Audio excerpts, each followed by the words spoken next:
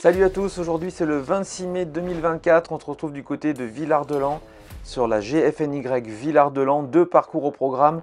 Le grand parcours qui annonce 163 km et plus de 3500 mètres de dénivelé et le parcours médium avec 70 km et 1500 mètres de dénivelé. Donc le GFNY Villard-de-Lans, ça fait partie d'un ensemble de courses qui se déroulent dans le monde entier. Et vous voyez qu'en France, une grande quantité de courses sont organisées avec le nouveau cette année, le GFNY à Orsières. Je remercie vraiment Cédric et toute son équipe du GFNY pour l'organisation. Franchement, c'est exceptionnel en termes d'orgas. Je vous invite tous à participer à une de ces courses. Et avant de vous faire vivre ma course, vous allez voir je ramène une médaille. Je vous laisse regarder ces images du récap de cette magnifique journée qui part de Villard-de-Lans, magnifique commune, et qui traverse tout le Vercors. On se retrouve juste après sur la ligne de départ.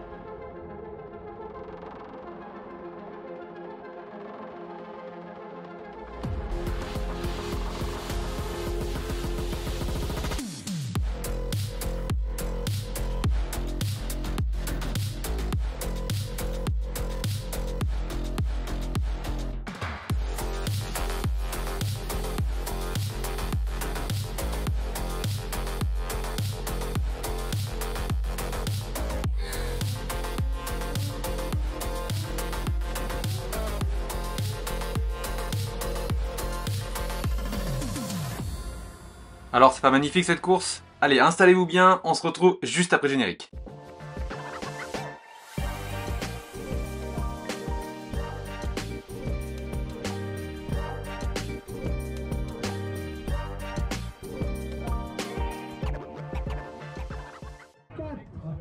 Et voilà, c'est le décompte, on est sur la ligne de départ, c'est parti pour cette belle aventure. Alors comme vous le voyez sur la carte, moi je me suis engagé sur le parcours médium. Euh, le parcours médium parce que j'ai un niveau qui me permet de me faire plaisir et d'exploiter 100% de mon potentiel sur le parcours médium. Je vous rappelle donc 70 km et annoncé 1800 mètres de dénivelé, mais vous verrez qu'il y en a un petit peu moins euh, sur le compteur à l'arrivée. J'ai déjà fait cette course l'année dernière et j'avais fait une super performance. Je vous mets le petit lien ici pour retrouver la vidéo de l'année dernière. Mais je me suis dit, allez, va te confronter encore une fois sur euh, ce parcours-là. Va voir si tu t'es amélioré.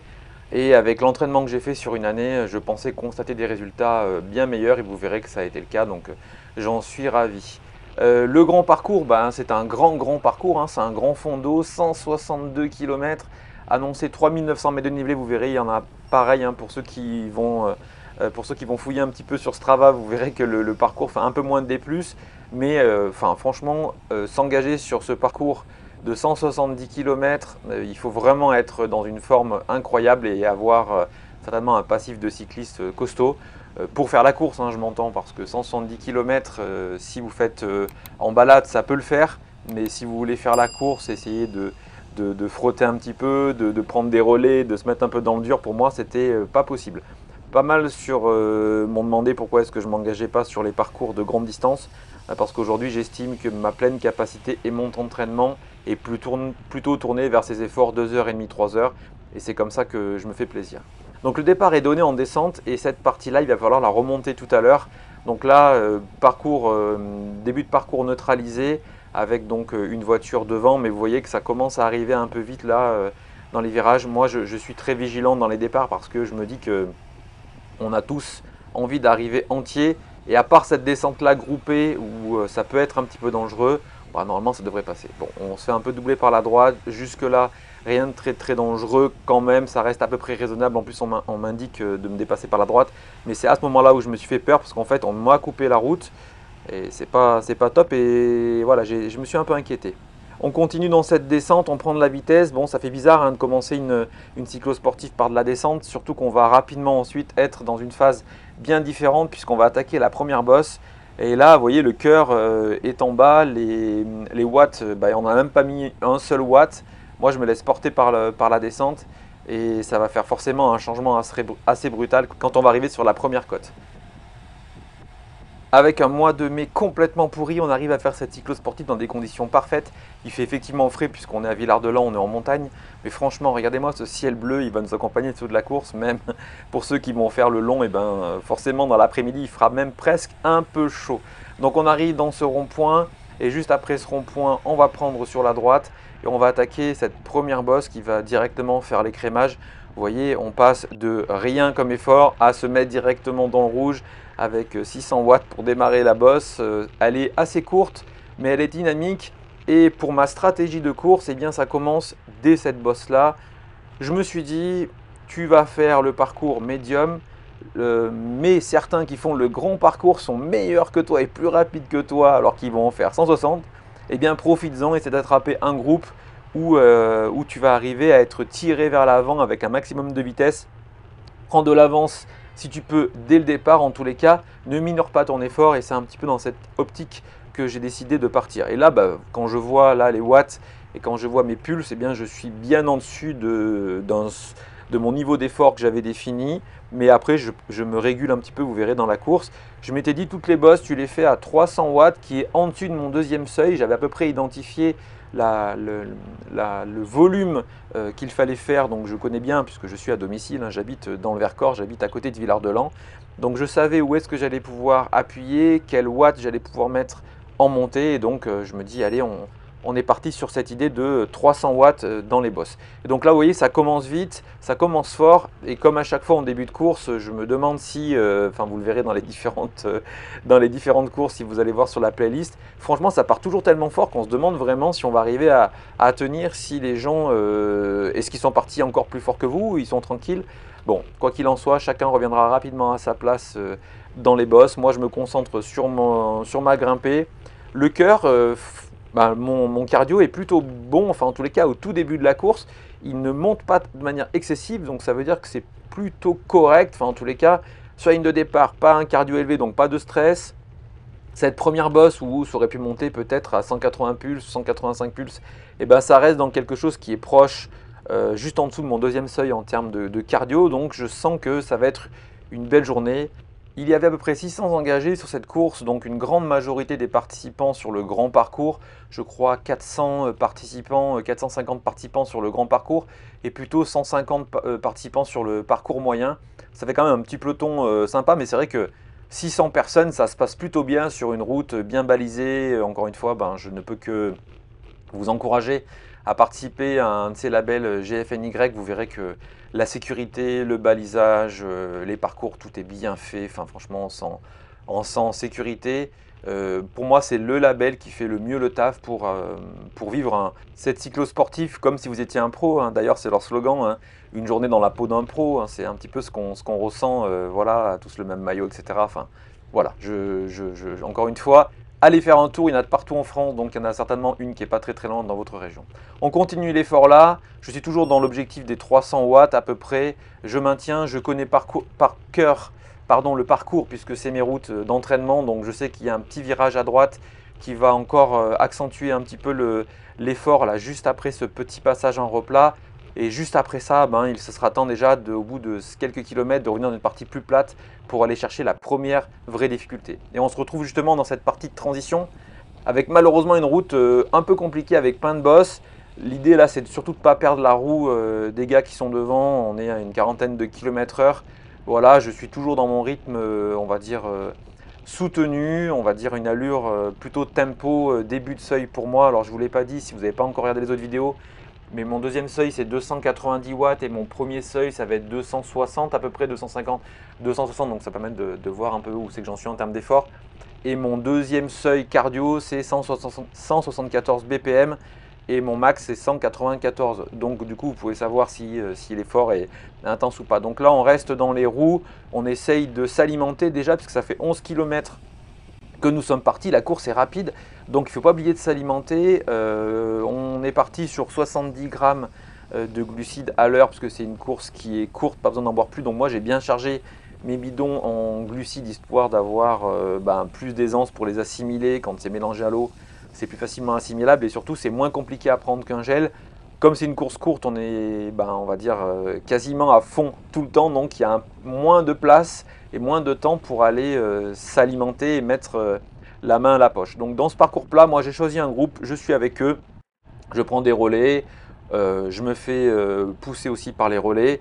Et donc on arrive au kilomètre 15 sur la ville de Lens-en-Vercors, la petite commune de Lens-en-Vercors, magnifique d'ailleurs si vous passez dans le, les parages avec des super boulangeries pour ceux qui s'y arrêtent. Et on va attaquer juste après le rond-point le col de la Croix-Perrin. Alors le col de la Croix-Perrin, c'est, euh, on va dire, pour les meilleurs moins de 10 minutes. Et pour moi, euh, j'ai en souvenir une, une montée autour de 13-14 minutes dans la dernière édition. À l'entraînement, j'ai jamais fait aussi, aussi intense. C'est un col qui est plutôt roulant. Je vous afficherai les stats en haut, euh, en haut du col. Mais voilà, col de la Croix-Perrin, une ascension qui va donc euh, faire déjà pas mal de sélections. Vous allez voir, très rapidement, hein, euh, la partie petite côte, elle s'est fait un peu en injection. Après, le replat s'est fait dans les groupes. Mais là, bon, on va être confronté rapidement, rapidement au relief et chacun va se retrouver à sa place. Donc c'est donc parti pour 3 km 600 pour 5,9% de pente. Donc voilà, euh, j'essaie de trouver un groupe à mon rythme. Alors je vois Loïc Ruffo devant moi là, qui ne fera pas la course cette année, euh, qui est un des meilleurs cyclosportifs de France, mais c'est toujours sympa de se retrouver euh, pas très très loin de gens qui sont, de cyclistes pardon, qui sont performants. Et bien sûr, il accompagne ici son ami et eux, ils sont partis sur le grand parcours. Dans cette montée, bah écoutez, déjà je voulais remercier parce qu'il y en a quelques-uns qui m'ont reconnu, avec qui on a pu échanger euh, rapidement. D'ailleurs, on le verra dans un petit instant, là, un petit, serrage de main, et puis c'est toujours sympa de, partager deux minutes. Mais moi, je me suis concentré sur mon effort, objectif, mettre 300 watts dans la bosse euh, et être autour de 175 BPM, c'est ce que je me suis dit, parce que cette bosse qui fait donc 3,6 km, et eh bien finalement, à part le deuxième partie de parcours où il y a vraiment un vrai grand col, et eh bien c'est la seule autre bosse du parcours. Donc il faut vraiment mettre un maximum d'intensité ici. C'est pas là qu'il faut en garder. Donc écoutez, moi je monte euh, le mieux possible avec mes armes. Hein. je suis euh, bien plus lourd que la plupart euh, des coureurs qui me doublent ou de ces demoiselles là qui ont l'air de ces dames qui ont l'air de, voler là sur le, sur le parcours. Mais je m'inquiète pas. Je sais aussi que je connais, euh, comme je vous l'ai dit, bien ce parcours et que c'est quand même assez long, 3 km 600. on est quand même ici à 20 km h 18 km h et ça va vite. Donc euh, voilà, il faut quand même en garder puisque le, col d'Herbouilly qu'on va avoir à faire en deuxième partie de parcours, euh, arriver en bas de ce col qui fait plus de 10 km cramé, il est sûr et certain euh, que je finirai pas la course. Voilà, donc là, c'est quelqu'un qui se, qui se reconnaîtra, euh, qui me suit euh, donc sur la chaîne. merci à toi d'avoir papoté et c'était sympa d'échanger. On arrive un peu plus loin, là on est au 18e kilomètre, on se rapproche de la fin du col. Et eh bien voilà, ça s'est écrémé, mais à ben, bonne surprise, et eh bien finalement j'ai réussi à semer tous ceux qui étaient avec moi et que vous avez vu qui sont certainement partis un peu plus fort. Et j'essaye moi de faire la jonction avec le groupe qui est devant. Parce qu'en fait, après le col de la Croix-Perrin, il y aura une grande descente. Et faire cette grande descente tout seul sans profiter d'un groupe, ça va être très compliqué. Donc euh, je suis là pour faire la course. Le meilleur résultat, je me dis, allez, il faut aller chercher le groupe qui est à l'avant. Mais malheureusement, tout seul, ça paraît être un peu long. Et euh, comme l'année dernière, comme la course que j'ai fait à 500 mètres du sommet, je me retrouve un peu loin d'un groupe. Mais heureusement, euh, j'ai pu compter sur l'aide incroyable de ce coureur qui revient de l'arrière. Et regardez, on est en train de rentrer sur le, sur le groupe. Ils sont pas très très loin devant. Alors, je ne peux pas prendre de relais, mais vous voyez que le cardio est monté euh, un peu plus haut. Euh, d'ailleurs, je le remercierai chaleureusement en arrivant haut, mais voilà, c'est lui qui me donne le rythme. Moi, je ne peux rien faire. De toute façon, vous le verrez plus tard, c'est un coureur qui est bien plus fort que moi. Il emmènera une grosse partie de la deuxième partie, du deuxième tiers pardon, de la course. Donc, je le laisse prendre le relais et de toute façon, je suis incapable d'aller plus vite, moi, à ce moment-là. Je crois pouvoir faire un résultat sur ce parcours médium. Donc, en fait, il y a deux choses. Il y a bien sûr donner le meilleur de soi et, euh, se dépouiller et mettre euh, son cœur sur la table, comme on dit, et se faire éclater les jambes. Mais il y a aussi une autre chose, c'est être assez intelligent et être en gestion. Donc là, quand il y a un coureur qui arrive et qui est bien plus fort que vous et qui continue à avancer, à mettre plus de 300 watts bien en dessus de votre cible, n'oubliez pas que je suis à l'abri de lui. Hein. donc je mets 300 watts à l'abri. Euh, ça voudrait dire que pour monter à la même vitesse, j'en mettrais bien bien plus. Et vous voyez que le cœur est en train de monter, monter, monter. Donc je suis au taquet. Et c'est parfait, donc record sur la montée, ça tombe bien, c'était le jour où il fallait le faire. C'est pour moi un moment où j'ai pu euh, bien gérer. Je sais derrière que lui a fait l'effort à ce moment-là. En plus, je le vois mettre son gilet, donc je lui dis vite fait, je prends le relais, je connais la descente. Et donc, vous voyez, au lieu de relâcher en arrivant en haut de la bosse, eh bien, je mets un peu des watts alors qu'on est en pleine descente en me disant, allez, il faut qu'on aille récupérer le groupe. On se retrouve au kilomètre 30, on a réussi à créer un groupe juste avant, il a fallu quand même batailler un peu dans la descente. Et là, ben, c'est le temps de récupérer en fait dans cette partie euh, magnifique d'ailleurs, hein, qui sont euh, les gorges du Méaudré me semble-t-il, eh bien c'est euh, le moment où il faut se ravitailler, recharger un petit peu les glucides. Donc malheureusement, je dis malheureusement parce que c'est toujours quelque chose qui, m'embête un peu, même si les gars là, je le serai après, vont faire le grand parcours, bah, ça tourne pas beaucoup et vous allez voir que rapidement on va se retrouver à, bah, deux comme, comme très souvent pour prendre les relais, mais bon c'est pas grave, c'est comme ça. Donc le mec le plus fort, bah voyez, quand je suis encore dans sa roue sur du plat, enfin en descente, léger faux plat, eh ben, je suis obligé de mettre 400 watts pour rester. Donc quand je vous dis que je voulais récupérer, j'ai, ouais, il m'a semblé avoir récupéré, mais finalement quand je regarde à nouveau les images, il a fallu quand même s'employer. Mais écoutez, encore une fois, la bonne nouvelle, c'est quand on fait la course et qu'on a quelqu'un qui roule avec soi comme ça, quand on se prend les relais l'un et l'autre, ce qui va se passer sur euh, bien 15 km, eh bien on avance vite. Hein. les kilomètres heure défilent, la moyenne est haute et c'est un petit peu ce que j'étais venu chercher aussi, c'était améliorer le temps global sur mon parcours. Donc voilà, magnifique paysage, je bois bien, je prends bien le temps de reprendre à nouveau un gel. On est au 30e kilomètre, il reste encore 40 km dont plus de 12 ou 15 km à ce moment-là d'ascension, ouais, même plus de 15 km d'ascension. Donc il fallait vraiment prendre le soin de, se ravitailler. On se retrouve dans ces magnifiques gorges de la Bourne que certains connaissent peut-être. Et là, bah, c'est génial parce qu'en arrivant dans les gorges, on a deux motards qui passent devant nous et qui vont pouvoir euh, faire, le, la circulation. Euh, et du coup, moi qui connais en plus la route, bah, je sais que je vais pouvoir me servir un petit peu comme le font les pros des freinages ou des indications que vous donnent les motards qui sont devant. Et donc après avoir tergiversé à prendre un petit peu le, devant, je me dis allez le gars qui est là, il connaît certainement moins que moi la descente parce que je la fais très très fréquemment à l'entraînement. Allez passe devant. Donc là, encore une fois, quand je regarde un petit peu mes stats sur Strava, bah, forcément c'est la meilleure des descentes qu'on a fait. Et quand on est avec euh, les motards en ouverture, euh, voilà, c'était super. Moi, j'ai kiffé parce que sur ce moment-là, entendre, vous savez, les, les, klaxons, les gyrophares, euh, on a l'impression d'être un pot alors qu'on n'en est pas un, mais c'était un petit kiff. Bon, désolé, l'image est un peu pourrie avec l'eau, bah, comme je l'ai dit, un mois de mai très arrosé. Dans le Vercors, ça sort de partout dans les tunnels. Mais voilà, on fait la descente à fond. Euh, vous voyez que le cardio ne se repose pas, je mets même des watts, hein, donc, euh, donc l'idée c'est de continuer à avancer. Le groupe derrière s'étire un petit peu, mais de toute façon je sais qu'après ça, euh, dans la partie qui va remonter, qui sera, on va dire, dans une côte un, peu molle en termes de pourcentage, bah, tout le monde va se regrouper. Donc voilà, c'est aussi une notion de sécurité, je sais où sont les trous, je sais où la route peut être mouillée plus ou moins. Donc là, je vais passer par exemple un peu plus sur le côté gauche où je sais qu'à droite, en général, c'est la route est vraiment pourrie. Donc voilà, quand on connaît la route, ça a quand même cet avantage-là. Euh, pour ceux qui veulent faire de la performance dans les parcours, eh bien, euh, vous voyez ce qui se passe et ils vont les repérer. Hein. Vous voyez la 400 watts dans la descente, donc autant dire que ça allait vite. Jamais je ne passerai aussi vite euh, en conditions hors course sans des motards qui, qui nous accueillent. Donc voilà, c'était vraiment sympa. Et je vous ai filmé cette descente. L'année dernière, j'ai pas pu le faire. La deuxième partie est encore plus roulante puisqu'ici on est en plein soleil. On arrive au pont de la Goule Noire au lieu de la Résistance puisque c'est un pont qui avait été euh, fait sauter pendant la, Seconde Guerre mondiale. Donc vous voyez, je continue mon effort mais là, cette fois-ci, je sais qu'on va arriver rapidement dans une autre euh, ascension entre le pont de la Goule Noire et le village de Saint-Julien-en-Vercors euh, qui n'est pas un col, hein, c'est juste une route qui grimpe, quoi, on va dire ça, on va dire ça comme ça. Et donc à ce moment-là, j'ai bien récupéré, j'ai bien fait redescendre le cœur et je me mets dans un mode où euh, à partir du euh, kilomètre 38, là on va arriver, je sais qu'il il faut plus débrancher et se mettre vraiment euh, à fond.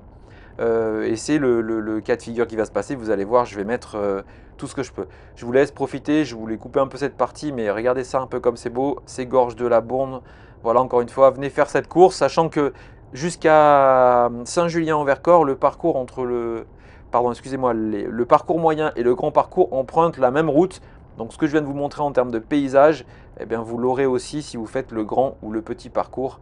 Et d'ailleurs, le grand parcours, c'est celui qui monte le plus haut dans le Vercors et qui vous fait vivre ben, les, endroits les plus jolis, avec notamment Comble-Laval. Donc là, on va arriver maintenant dans cette partie où on va remonter jusqu'à Saint-Julien. Et très rapidement, je me dis, allez, il ne faut pas perdre de temps. Encore une fois, j'ai mes repères, je sais à quelle vitesse je peux monter et on engage. Alors, le groupe qui était avec moi à ce moment-là euh, a l'air un peu plus costaud que moi. J'ai une petite panne de jambes. Euh, le cardio, euh, les watts sont là, mais au niveau des sensations, je me dis waouh, ça commence à être poussif. C'est un peu compliqué. On n'a pas un phénomène d'aspiration. Je pensais qu'on serait un peu plus nombreux et qu'on aurait peut-être un peu d'aspiration dans cette partie-là. Mais je me concentre et je sais que de toute façon, je suis prêt. Hein, ça fait à peine, un peu, enfin, ça fait un peu plus d'une heure qu'on est parti. Je sais que je suis pas, j'ai pas pris toutes mes réserves, donc je me dis, aie confiance en toi, tu t'es entraîné, tu sais exactement ce que tu dois faire euh, jusqu'à la fin, gère bien ton effort et ça va le faire. Donc là, à ce moment-là, c'est à mon tour de ne pas prendre de relais. J'en ai, pris beaucoup sur le plat avec ce groupe-là, avec euh, le gars qui avait le petit euh, par-dessus noir. Mais à ce moment-là, je prends zéro relais. J'essaye de prendre les roues, de m'accrocher, mais vous voyez que ce que, pas homogène hein, le groupe. Hein.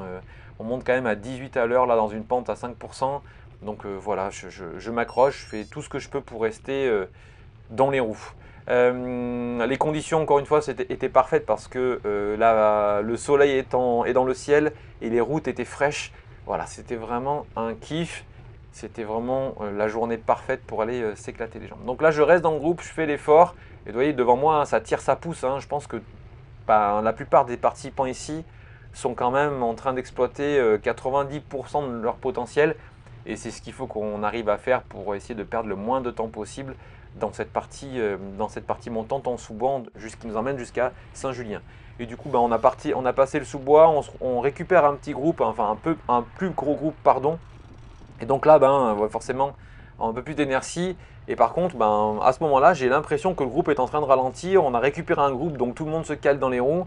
Et moi, je sais que euh, la, bascule n'est pas très très loin là, avant de, faire le col. Donc je me dis, allez, je fais l'effort, j'essaie de, poursuivre euh, mon effort. Alors vous allez voir, hein, malheureusement quand je vais prendre sur le, la bifurcation, en fait, ce qui va se passer, bah, c'est que ces gens-là sont quasiment tous, tous, tous, je dis quasiment parce que je crois qu'il n'y en a peut-être qu'un qui faisait partie du parcours moyen sur le grand parcours. Donc déjà, je suis épaté d'avoir l'intensité de course qu'on peut mener et que derrière, il reste encore eh bien, 120 km à faire pour eux. Voilà, voilà pourquoi je ne fais pas les parcours euh, grand format. Donc on va arriver donc sur Saint-Julien, on va se séparer. Moi je vais partir donc sur la gauche pour aller commencer le col d'Herbouilly où je vais vous faire vivre quelques images mais je voulais garder de, la vidéo pour le reste donc vous n'aurez pas tout le col hein, bien entendu.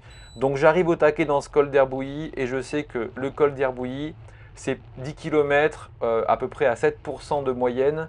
Ouais, col d'Herbouilly c'est 10 km exactement avec 5,8% de moyenne mais les 7 premiers kilomètres sont à plus de 8% de moyenne, avec des passages qui dépassent 9-10%. Donc je sais éperdument que les 8 premiers kilomètres, les 7-8 premiers kilomètres, bah, ils vont être décisifs. Et quand je me retourne, j'ai une personne qui est derrière moi, et c'est tout. En fait, j'ai une seule personne derrière moi. J'ai beau me retourner une fois, deux fois, trois fois, personne. Et regardez devant, c'est encore une fois, bah, c'est le désert. Donc je me dis à ce moment-là, soit euh, les autres sont très très très très loin devant, euh, soit euh, tu es le premier, j'en sais rien, je me dis je ne sais pas. En fait, personne ne vous annonce hein, sur les cyclosportifs votre euh, classement, il faut le demander et j'ai pas encore eu de ravitaillement. Donc au prochain ravitaillement, je demanderai l'information pour demander à peu près combien il y en a qui sont passés. Et à ce moment-là, j'ai un collègue à moi qui arrive de derrière. On papote un petit peu dans le début et il me dit il y en a 5 qui sont passés devant. Donc 5 qui sont passés devant, à ce moment-là, bah, je me dis, euh, soit ils sont euh, très très loin et tu n'arriveras jamais à les voir, soit ils sont euh, juste derrière le virage et tu vas les rattraper rapidement. Il m'a pas donné de notion de temps. Donc je vais en, tous les cas faire tout pour essayer de revenir sur eux. Mais je me rends compte que rapidement, 300 watts et plus, ben, ça tire. Et je me demande si je vais arriver à tenir sur la durée. Parce que tenir 300 watts sur 3 km ça peut passer. Tenir 300 watts sur une côte, ça passe, mais tenir un niveau élevé d'intensité en dessus de 300 watts sur 10 km, ça devient un autre chantier. Mais je me dis, allez, de toute façon, euh, tu tentes et puis, et puis voilà quoi, personne n'est derrière. Au pire des cas, euh, il y avait un gars qui était juste derrière. Je me dis, tu perds une place, tu finis 6ème, 7ème, allez, peu importe. Je me suis donné à fond. On est un peu plus loin là au 48e kilomètre. Je vous ai fait avancer parce qu'en fait, ici, il ne se passe pas grand chose comme je suis tout seul face à moi-même. Je pédale, j'essaie de garder le rythme. Vous voyez, ça monte à 13-14 km heure, 6% de pente, toujours à 174 BPM et 300 watts. Franchement, quand je regarde à nouveau les images, là, pour en avoir parlé avec mon coach, bah, les efforts ont été super bien gérés. Et c'est ce que je retiens de cette course, c'est quand on a travaillé, qu'on a un petit peu pacé, c'est-à-dire qu'on a défini des, allures cibles, et quand on course, on arrive à les dépasser un petit peu sans exploser. Franchement, pour moi qui aime l'entraînement, qui aime la précision, euh, les cibles d'entraînement, etc., bah, c'est hyper agréable de voir qu'on a produit exactement ce pourquoi on s'est entraîné et c'est génial. On se retrouve bien plus loin dans le col, puisqu'ici on se retrouve au 50e kilomètre. J'ai pas eu le temps de filmer. Quelqu'un est arrivé de derrière et il avait l'air d'être en forme. Alors déjà, il était bien plus léger que moi. J'ai une photo qu'un de mes collègues du coup a pris où je pense qu'on doit se rendre 10 kg tous les deux certainement sur le gabarit. Donc voilà, hein, euh, ben là on fait euh, l'esprit un peu course. Hein. C'était aussi un peu ce que j'étais venu chercher, chercher la meilleure place possible. Donc je me dis, reste derrière, ne prends pas de relais. Il est meilleur que toi. Il vient de te, rattraper parce que je ne le voyais pas. Ce concurrent en fait, c'est pas celui qui était derrière moi au début du col. C'est quelqu'un qui arrivait de très loin derrière. Donc il est monté très très très vite. Donc à ce moment-là, aucune idée, enfin aucun, aucun besoin pour moi de prendre des relais. Et d'ailleurs, c'est ce que je voulais dire un peu plus loin. Je dis, je prends pas de relais parce que tu vas me cramer dans la dernière côte. N'oubliez pas que côte 2000, là où on est descendu au départ, il va falloir le monter. Et oui, donc si euh, je fais tous les efforts maintenant, je me laisse aucune chance de le, bah, d'essayer de, de, de, l'avoir dans la dernière bosse. Encore une fois, c'est lié un peu à la stratégie. On n'a personne derrière. Donc voilà, c'est une des rares fois où je peux faire la course. Vous savez, on, j'ai toujours l'habitude de dire faire sa course ou de faire la course. Faire sa course, c'est respecter exactement ce que l'on sait faire sans jamais réfléchir à l'action de la course. Et on sait finalement que le cyclisme, ben, c'est un sport euh, qui ne demande pas que à pédaler. Si vous êtes là en l'occurrence en train de jouer une place dans le top 10, euh, même s'il y a 150 participants, eh ben, euh, une place de plus, 6e ou 5e ou 7e, c'est pas la même chose pour moi. Donc j'essaye de garder ça en tête et c'est la première fois, euh, franchement, c'est la première fois où j'arrive à euh, jauger mon effort pour essayer de faire une place de mieux. L'année dernière, j'avais fini vraiment solo, solo ce parcours-là et j'avais pas pu me battre avec, euh, enfin, j'avais pu me battre contre personne. Et là, le fait d'avoir quelqu'un avec qui on se dit, tiens, ce qu'on entend un petit peu quand on regarde les, courses à la télé, essayer de compter ses coups de pédale, et bien écoutez, moi j'ai trouvé ça super. Dites-moi en commentaire ce que vous en pensez, si c'était la bonne tactique ou pas. Sachant qu'en plus, dans la partie en descente qu'on va aborder, eh bien, j'ai pris un peu l'ascendant parce que je connaissais cette descente. Mais euh, je ne me suis pas senti partir, faire la descente à fond et me cramer. J'en ai gardé un petit peu pour faire la dernière bosse. Vous verrez tout à l'heure si ça m'a servi ou non. Donc c'est déjà la fin de la descente, ça, on, a, roulé plutôt vite, il nous reste encore que quelques kilomètres, encore 3 km et demi à faire. Et on va arriver au, départ de cette côte 2000, c'est comme ça qu'elle s'appelle, c'est 2 km à 7,2%. Mais attention, la première partie est raide, il y a des passages à 9%, 10%, 11% me semble-t-il. Et euh, bah, il va falloir essayer de la monter le, plus fort possible. Je regarde derrière moi et donc le coureur qui était un petit peu distancé est revenu. Je me dis aïe aïe aïe, ça va être compliqué je me dis, allez, de toute façon, euh, bats-toi, donne tout ce que tu as. Mais franchement, là, quand je me dresse sur les pédales, là, je suis en danseuse. Je sens que ça tire dans les quadrilles. Euh, je suis pas très très loin de la crampe. Pourtant, j'avais fait euh, tout ce qu'il fallait en termes d'alimentation et d'hydratation. Mais c'est juste que j'ai exploité 150% de mon potentiel. Donc, bah, ça tire, hein, forcément. Donc, je vois au loin et je connais le parcours qu'on va arriver à cette bosse. Et bah, l'objectif, ça va être la montée en tête si possible et essayer de ne pas me faire rattraper. C'est ce que j'ai moi dans mon esprit, mais je crois que mon collègue qui m'accompagne, mon concurrent qui m'accompagne, a aussi ça en tête. Et donc à ce moment-là, ben, on est un peu dans un faux rythme, vous voyez, 200 euh, watts euh, sur du plat, euh, on se regarde un peu, c'est un peu le jeu du chat à la souris. On joue quand même ici une sixième place, et ben écoutez, moi j'aime me dire que je peux encore une fois essayer de faire cette sixième place, cette cyclo-sportive sur, 150 participants. Mais j'ai aussi en, tête, moi, le, temps. Et je sais que je suis largement en avance sur ce que j'avais imaginé. Hein. On est, euh, on est satisfait quand c'est comme ça. Donc on est un peu quand même, enfin on est quand même grisé par, euh, par, cette, euh, par cette bonne disposition. Malheureusement, eh bien voilà, je vois que qu'il n'a pas décidé de me laisser gagner cette cote et il m'a bah, déposé, il est loin devant là-bas, dans les 500 premiers mètres de la montée, je me suis fait bah, un petit peu laminer, hein. Tout simplement, il était bien meilleur que moi et on arrive à 500 mètres de la ligne d'arrivée, franchement, en ce moment-là, il commence déjà à faire un petit peu chaud. Je suis, je suis claqué. Vous voyez, les watts, j'ai du mal à les, à les envoyer. J'essaie de relancer danseuse, pas danseuse. Quand je me retourne derrière, j'ai personne. C'est difficile à ce moment-là de se mettre vraiment à 150 000 mais c'est quand même ce que je vais me dire. Allez, fais l'effort, 500 mètres. Après ça, c'est la récup. Donc on arrive dans les derniers lacets, les derniers pourcentages. J'ai mon collègue Olivier qui m'a qui, qui venu me voir sur le parcours, qui est là pour me, pour me dire lâche rien sur, sur la fin. Donc euh, merci à lui pour les quelques encouragements quand on s'est croisé sur le, sur le parcours. Et je donne tout. On arrive en haut de cette fameuse côte 2000. C'est un moment euh, hyper agréable pour moi, même si c'est difficile dans le corps. Je sais que j'ai battu mes perfs de l'année précédente. Je le vois au niveau du chrono. Je sais que j'ai tenu des watts qui me paraissaient impossibles de tenir dans le dernier col et dans l'ensemble du parcours. Bref, voilà, c'est de la progression, c'est ce que je viens chercher en faisant le même parcours que l'année dernière, c'est regarder mon état de progression. Je ne sais pas si ce que vous faites, encore une fois, n'hésitez pas en commentaire de me partager votre, avis là-dessus. Varier les courses, oui, mais de temps en temps, revenir sur le même format. Si la course ne varie pas, si euh, le parcours est identique, eh bien, ça va être de voir si on progresse, si on régresse. Et là, ben, franchement, c'est une vraie belle progression que j'ai pu faire sur ce parcours, puisque je gagne quasiment 7 minutes sur le parcours euh, cette année. Et donc je mets 2h19 pour 2h27 et 50 secondes l'année dernière. Franchement, je suis vraiment ravi de ma performance. Vous verrez les watts et les zones cardio. La très bonne nouvelle, c'est que je fais premier sur 15 de ma catégorie M4, 7ème au scratch sur 140. Je suis vraiment ravi. Vous voyez, 267 watts pondérés. Bah, je suis vraiment hyper content de ce que j'ai pu mettre euh, sur cette course.